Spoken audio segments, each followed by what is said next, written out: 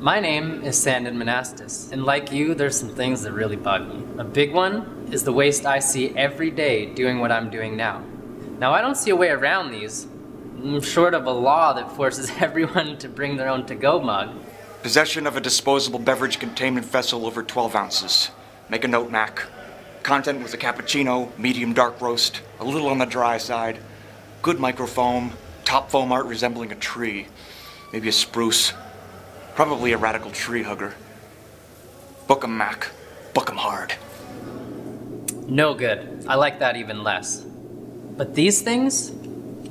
These things? Did you know us good folks here in North America go through something like 200,000 tons of these a year? By some estimates, that's over 3 million mature trees. That is crazy. Plus, handing these out all day costs my boss money. But what to do about it? Ah, then the light went on.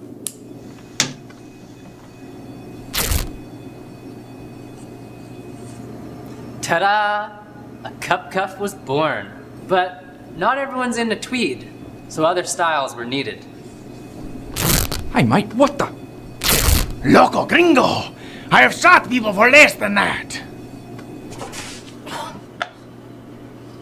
Behold, the current cup cuff lineup the Professor, the Mariner, and the Che. Just think how many trees would be saved if 10,000 people used cup cuff or 100,000 people used cup cuffs. Thank you, thank you, my knight in shining armor, my Lancelot. Can I just give you a hug? Okay. so here's the pitch. I've been a barista for most of the last few years, which has meant that my income has faithfully hovered around the poverty line. I've managed to cobble together enough money to secure a trademark and produce nearly a thousand cup cuffs.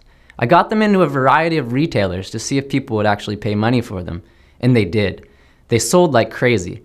In fact, they sold out, and retailers want lots more. I call what I've done so far my test market phase.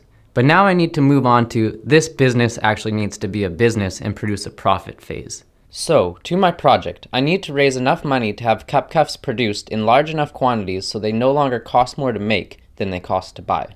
My project requires $10,000. Please help me shift this company into the next phase by enabling us to expand our production. You'll be doing your part to reduce waste while looking stylish in the process. Please show your support and choose a pledge that best suits you. Thank you.